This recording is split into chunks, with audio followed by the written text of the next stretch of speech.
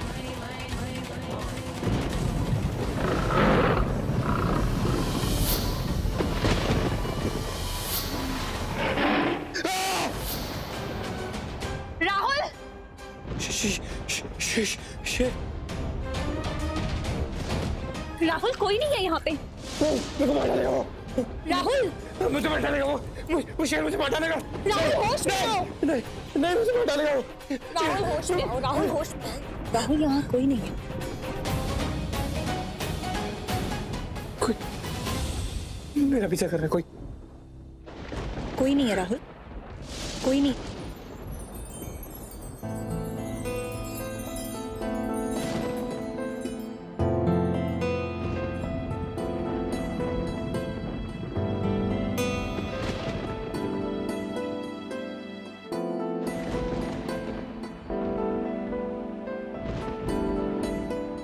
मुझे लगता है बुरा सपना। राहुल तुम्हारे हाथ से तो फिर से खून निकल रहा है। अरे तुम्हें तो बहुत तेज बुखार भी है। रुको मैं तुम्हें दवाई देती हूँ। सॉरी तुम्हें जगा दिया मैंने।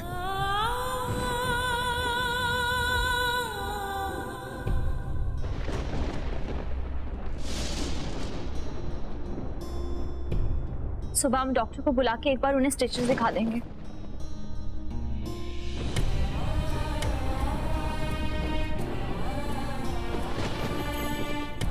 सॉरी। कोई बात नहीं राहुल। सो जा।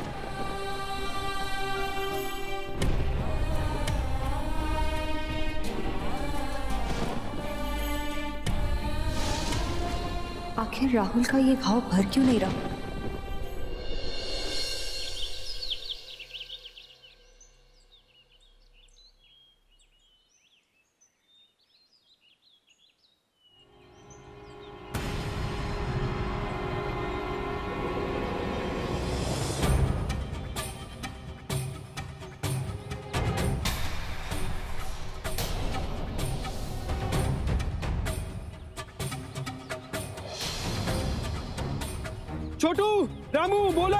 बंसी ये देखो जल्दी आओ यहाँ पे।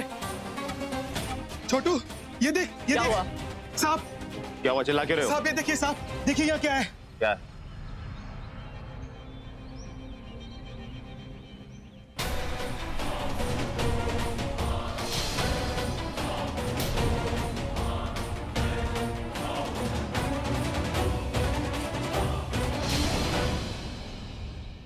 ये तो किसी जंगली जानवर का ही लगता है सर।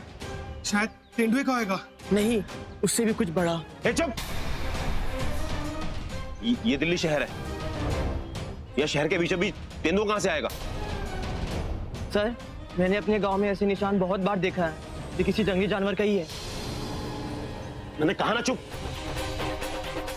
ये और मैं मैं बुलाता हूँ किसी स्पेशलिस्ट को।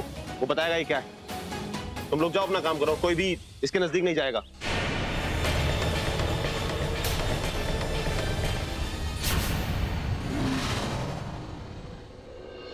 माली ऐसे क्यों चिल्ला रहा था राज?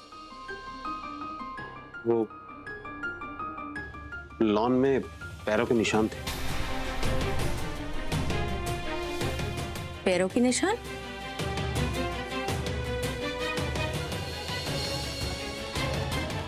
कैसे पैरों के निशान?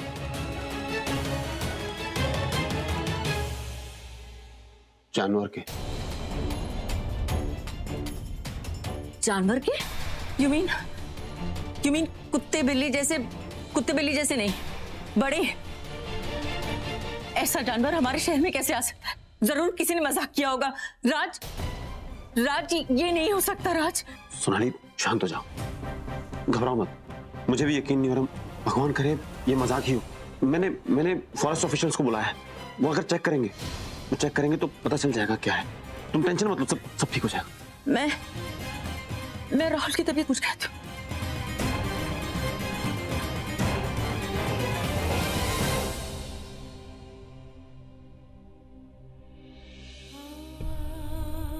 राहुल? चेहरा ऐसे उतरा हुआ क्यों है? तबीयत तो ठीक है ना? पता नहीं मैम मुझे लगता है कि मैं ढंग से सोया नहीं हूँ। नींद भी नहीं मिली है। पता नीजीनेस है ओह माय गॉड तुझे तो बहुत तेज बुखार है। मैं भी डॉक्टर को बुलाती हूँ। मम्मी जी आप रहने दीजिए। मैं इन्हें दवाई दे दूँगी। हम जब बाबा से मिलने जाएँगे तब इनकी भी ड्रेसिंग करवा देंगे। अभी फ़िलहाल गाँव में जो डॉक्टर ने दवाई दी थी मैं इन्हें वो दे देती हूँ और इनकी पट्टी कर देती हूँ। डॉक्टर ने बताया था कि घाव भरने में थोड़ा सा वक्त लगेगा। तो आप फ़िक्र मत कीजिए मैं इनका पूरा ख्याल रखूँगी। अच्छा हुआ। घर में मेरी तरह तुम्हारी फ़िक्र करने वाला कोई और भी आ गया है। ठीक है मैं चलती तुम राहुल की ड्रेसिंग करो। मैं नाश्ता लगवाती हूँ। वैसे भी राहुल के जख्म मुझसे देखा नहीं जाएगा।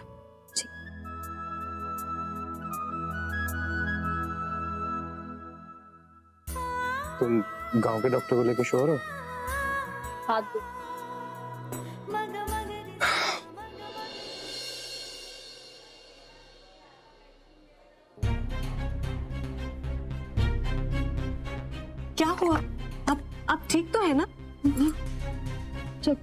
चक्कर सा आ रहा है। चक्कर आ रहा है। अब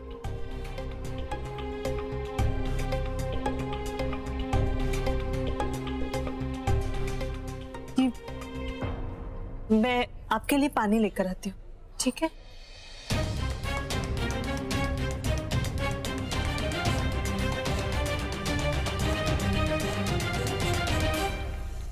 ये लीजिए, पानी पीजिए। ठीक लग रहा है ना आपको? हाँ अभी बेहतर लग रहा है। ये हाथ में क्या हुआ? फ्रैक्चर है क्या? शुक्र है छोटी चोट लग गई है। हड्डियाँ ठीक है। हाँ, आप? वो मेरे पति यहाँ कोमा में एडमिट है तो। I am sorry don't worry मैं प्रे करूँगी उनके लिए। आप अपना ख्याल रखिए। मैं चलती हूँ।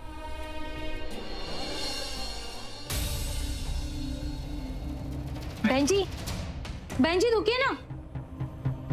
नर्स? वो लेडी अपने मेडिसिन भूल गई है। आप जानती है कहाँ होंगी वो? शायद आप ये ढूंढ रही है। हे भगवान मैं वहीं पर भूल गई थी ना। थैंक यू वेलकम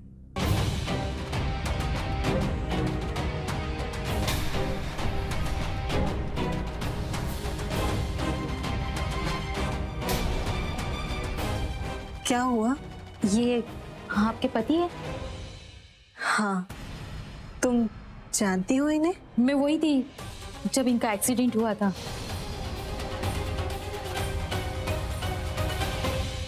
सारे मेरे कपड़ों की जगह साड़ियाँ भर दी हैं। हो क्या रहा है यहाँ पे? राहुल क्या कर रहे हो? कुछ ढूंढ रहे हो क्या?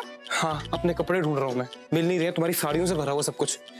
मुझे बहुत अजीब फील हो रहा है मुझे कोल्ड शार लेना है सिर्फ़ ठंडे पानी से नहाना चाहते हो? अभी उस दिन तो बारिश में भीग के आए हो। अभी तक तुम्हारा कोल्ड शावर का भूत नहीं उतरा। तो तुम हर बात में मुझे डांटती क्यों हाँ? और तुमसे क्यों परमिशन लूँ? मैं कुछ भी करूँ? मैं तुम्हें परमिशन नहीं दे रही। और बाय द वे मैं तुमसे पूछ नहीं रही हूँ। तुम्हें बता रही हूँ कि तुम कोल्ड शावर तो क्या? तुम हॉट शावर भी नहीं ले सकते क्यों क्यों? क्यों नहीं नहा सकता मैं हाँ? मुझे जो करना मैं वो करूँगा। अरे राहुल तुम्हारी तबीयत नहीं ठीक। तुम्हारा घाव नहीं भरा अब तक। तुम्हें पसीना आ रहा है। तुम अपनी हालत तो देखो और ऊपर से तुम नहाना चाहते हो। अच्छा ठीक है। अब तुम खुद डिसाइड करो। तुम यहाँ खड़े होकर मुझसे लड़ोगे या तुम मेरी बात मानोगे चुपचाप? देखो अगर तुम्हें नहाना ही है ना तो मैं छोटू को बोल के तुम्हें स्पॉन्ज बात दिलवा देती क्यों देगा? हाँ? मेरे हाथ पैर टूट गए हैं क्या? और छोटू कब से मुझे स्पॉन्ज बात देने लग पड़ा? I mean this is ridiculous तुम तुम बॉस हो क्या मेरी? बीवी हूँ मैं तुम्हारी। इसीलिए जैसे बोल रही हूँ ना वैसा ही करो। कोई ज़रूरत नहीं है नहाने की। अजीब औरत है यार। जब भी धौस जमाना होता है तो बीवी बन जाती है? नहीं तो हमेशा चुड़ैलों की तरफ़ डांटती रहती है। स्पॉन्ज बात क्यों लूँगा मैं? गॉड डैम इट तुम तुम गौर से देखो इन्हें। तुमने इनका एक्सीडेंट होते हुए देखा था? वो ठीक से याद करो। हाँ मैंने अपनी आँखों से देखा है सब कुछ। तुम गौर से देखो इन्हें। मैं मैं इनका चेहरा नहीं भूल सकती हूँ। सब कुछ सब कुछ याद है मुझे। तुमने क्या देखा तब ये एक्सीडेंट कैसे हुआ? ये ये आपके पति भाग रहे थे जल्दी में थे। और एक लड़का एक लड़का इनका पीछा कर रहा था। और वो रोड तक पहुँचते पहुँचते उस लड़के ने इनको पकड़ा और और फिर उन दोनों में बहुत बहस होने लगी। फिर क्या हुआ? फिर अचानक इनको टेंपो के सामने धक्का दे दिया। ये सब कुछ तुम्हारे सामने हुआ था तो तुमने पुलिस में कंप्लेंट क्यों नहीं की? मैं मैं बहुत डर गई थी। और मैंने मैंने मेरी लाइफ में कभी कभी एक्सीडेंट नहीं देखा है। और फिर और फिर पुलिस के चक्कर में नहीं फंसना चाहती थी मैं। पुलिस को नहीं कम से कम मुझे बताओ ना वो लड़का कौन था? कैसे दिखता था? कुछ तो बताओ ना उसके बारे में ताकि उसे पकड़ने की हम कोशिश करें। प्लीज़ मैं वाकई में ये सब चक्कर में नहीं फंसना चाहती हूँ। मैं अब्रॉड जा रही हूँ मेरे किसी काम के लिए। और मेरा वीज़ा का प्रोसेस भी हो चुका है। अगर इन सब में मुझे गवाह बना दिया जाएगा तो तो मैं फंस जाऊँगी। मुझे माफ़ कर दीजिए प्लीज़ प्लीज़ तुम मेरी बहन की उम्र की हो। मैं तुम्हारे आगे हाथ जोड़ती हूँ। कुछ तो बताओ ताकि प्लीज़ प्लीज़ मुझे माफ़ कर दीजिए। मुझे यहाँ आना ही नहीं चाहिए था। अरे सुनो तो।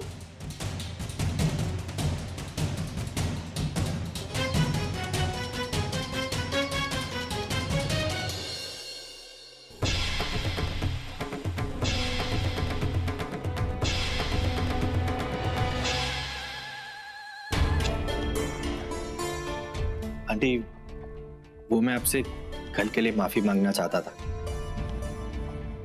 तो जो भी कुछ हुआ वो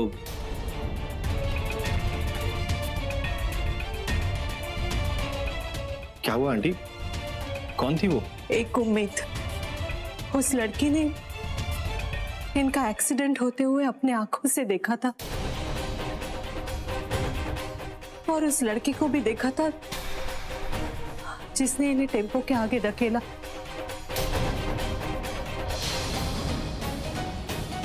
क्या? उसने क्या बताया?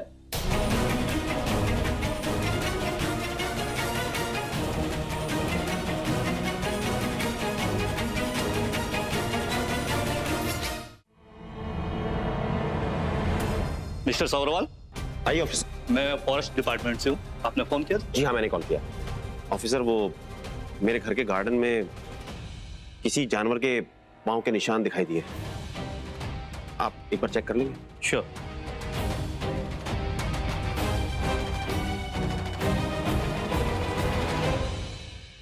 अ, मम्मी जी ये ये कौन थे? ये राज के दोस्त। काम से आए थे थोड़ा। अब पापा उन्हें बाहर लेकर गए हैं गार्डन में किसी जानवर के पैर के निशान दिखाने के लिए। अब अच्छा? मुझे तो इस बारे में कुछ भी नहीं पता। मैडम जी हाँ? आज सवेरे सवेरे माली ने गार्डन में किसी जंगली जानवर के पैरों के निशान देखे। छोटू काम पे ध्यान दे। जा अपना काम कर। अब बेटा चाय अंदर लेके जाओ? ठंडी हो गई होगी। गर्म करके ले जी मम्मी जी।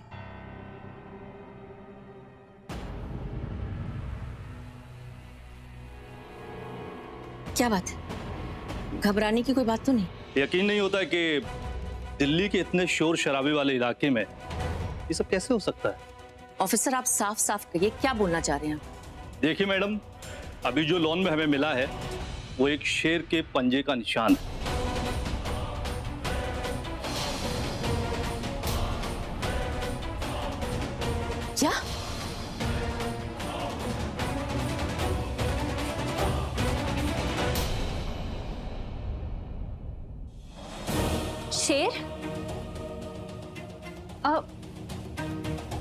हमारे घर के बाहर। मम्मी जी, आजकल राहुल को भी शेर के ख्याल आते हैं।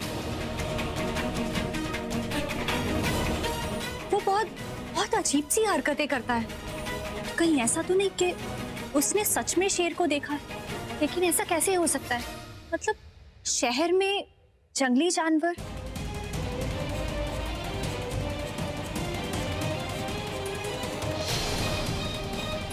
आर यू श्योर ऑफिसर पिछले दिनों मौसम बहुत खराब था। कहीं ऐसा तो नहीं कि उस खराब मौसम में जंगल से कोई कोई दूसरा जानवर कोई बड़ा जानवर शहर में आ गया हो? मिस्टर सौरवाल हर जानवर के पैर के निशान अलग अलग होते हैं और ये निशान शेर के ही है। ये कहते हुए मुझे भी बड़ा अजीब लग रहा है कि शहर के बीचों बीच शेर जबकि किसी भी वाइल्ड लाइफ रिज़र्व से किसी भी शेर के मिसिंग होने की कोई रिपोर्ट नहीं तो ऑफिसर आप ही बताइए अब हम क्या करेंगे? पहले आपके पूरे घर को चेक करेंगे और देखना चाहेंगे कि ये निशान कहीं और तो नहीं है। ठीक है। छोटो! इंस्पेक्टर साहब को पूरा घर एक बार चेक करा दो। प्लीज़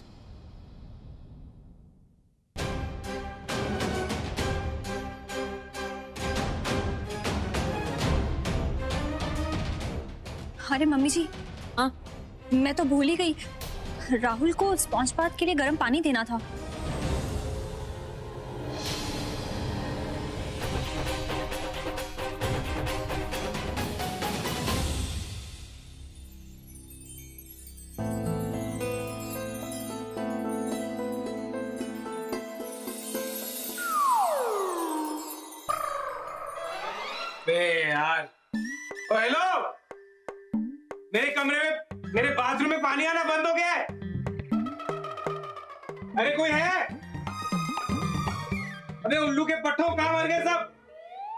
हेलो मेरे कमरे में पा, मेरे बाथरूम में पानी नहीं है। अब क्या हुआ भैया? निखिल निखिल मेरे बाथरूम में पानी नहीं आ रहा यार मैं नहा रहा था बीच में कुछ करना यार। हाँ वो ऊपर टैंक साफ़ हो रहा था। यार इनको अभी करनी थी टैंक की सफ़ाई और मुझे क्यों नहीं कोई बताता ये सब? ये मेरे सारी बॉडी में सोप लगा हुआ है यार कुछ करना। एक काम कर किचन से किचन से बकेट में बाल्टी में पानी लेके आ जल्दी। थोड़ा प्यार से बोलो। चल इस बाथरूम में हमेशा नहीं रहूँगा मैं। जल्दी जा बाल्टी लेके आ पानी की। हम्म अभी ला दो। जल्दी करना यार। अब तुम एक काम करो इस पानी को लेके जाओ राहुल को स्पॉन्ज बाथ दे देना। और अगर वो मना करे और ये कहे कि मुझे शार लेना है तो उसे स्ट्रिक्टली मना कर देना। उसे बोलना कि मैंने मना किया ठीक है? जाओ ले जाओ। अब लेकिन वो तो शावर ले रहे क्या? शावर ले लिया? हाँ वो नहाने वाले थे कि पानी बंद हो गया। इसलिए उन्होंने मुझे भेजा पानी लाने के लिए। अभी मना करके आई हूँ उसे कि बुखार है ठंडे पानी से ना नहाए। लेकिन ये लड़का तो कभी किसी की बात सुनता ही नहीं है। मैं अभी बता के आती हूँ उसे।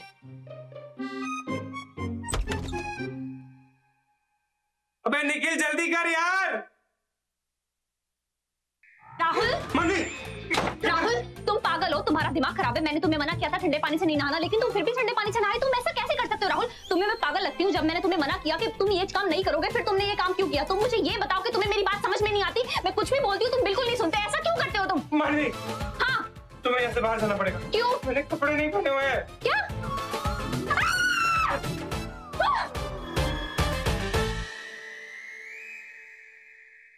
क्या हुआ राहुल? मम्मा तुम आवाज़ लगा रहे थे। तुम ठीक तो हो ना? हाँ मम मैं, मैं, मैं बिल्कुल ठीक हूँ मुझे क्या होना है? वो वो वो वो पानी नहीं है ना बाथरूम में इसलिए। अच्छा। अरे बेटा पता है कुछ मानवी कहाँ है? मुझे क्यों पता होगा मामा मानवी का है? वैसे भी वो काम बता के जाते कहीं चली गई होगी। अजीब है। मुझे तो इसी कमरे से आवाज़ आ रही थी। मैं बता के नहीं जाती तुम जैसे बड़ा बता के जाते हो। क्या करूँ सिचुएशन को समझो नीचे मत देखना प्लीज़ हिलना मत। आ, क्या मम मुझे लगा रूम से उसकी आवाज़ आ रही थी। आ, पता नहीं मम वो मैं तो नहा रहा हूँ मुझे क्यों पता होगा? आप देख लो ना बाहर कहीं। ठीक है बेटा। मैं बिना बताए बाहर जाती हूँ या तुम बाहर जाते हो? हाँ वो क्योंकि कुछ मिला नहीं ना बोलने के लिए। और कपड़े भी नहीं पहने हुए तो ऐसे ही खड़े रहना ठीक है? टाल नीचे है। आँखें बंद करो।